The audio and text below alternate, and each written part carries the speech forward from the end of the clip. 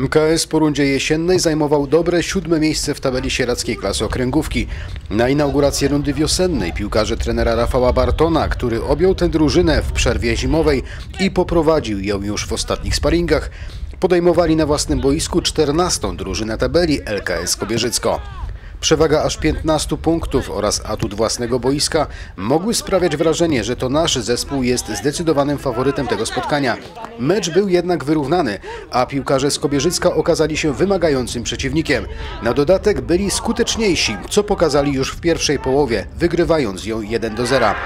Tuż po przerwie MKS wyrównał za sprawą Piotra Tomczyka, lecz niedługo potem goście wykorzystali kolejne dwa błędy naszej defensywy i strzelili następne dwa gole. Tej straty Zduńskowolanie już nie zdołali odrobić. Wprawdzie Dawid Kępniak zdobył w ostatnich minutach drugiego gola dla MKS-u, lecz nasz zespół przegrał ostatecznie 2 do 3. W najbliższą sobotę o 15 MKS zagra u siebie z Konopnicą, a Pogoń o tej samej godzinie podejmie Widawię.